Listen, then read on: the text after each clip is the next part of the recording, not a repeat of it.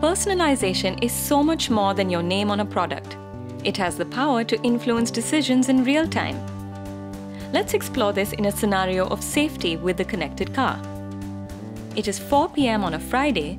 Emily, to her surprise, is done for the day much earlier than usual. As Emily's car takes into account an unlikely set of circumstances coming together, it predicts trouble. It may sound counterintuitive, but people are more accident prone when they're in a positive state of mind. After all, they tend to be relaxed, expecting good outcomes.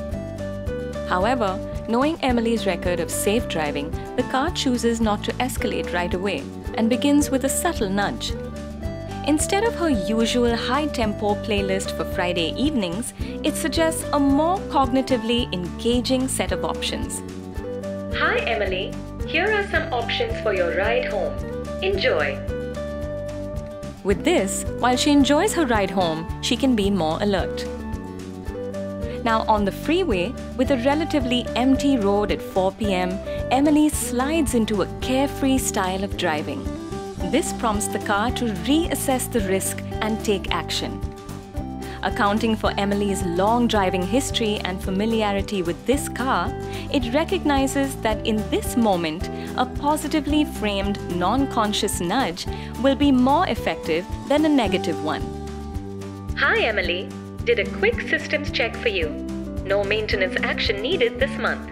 Good job. Phew, that's better. As Emily enters the busy bylanes that lead home, she is thrilled to be reaching this early. The car appraises the high level of familiarity with this route combined with her eagerness to get home and the deviance from her baseline behavior today. Being uncomfortable with these odds, it opts for an active intervention. Reaching home two hours earlier than usual.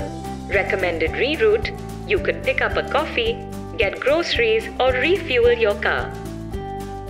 And so, with a small curated detour, Emily gets home safe. Her car can now rest and learn from today's adventure so that it's better prepared for safety scenarios in the future.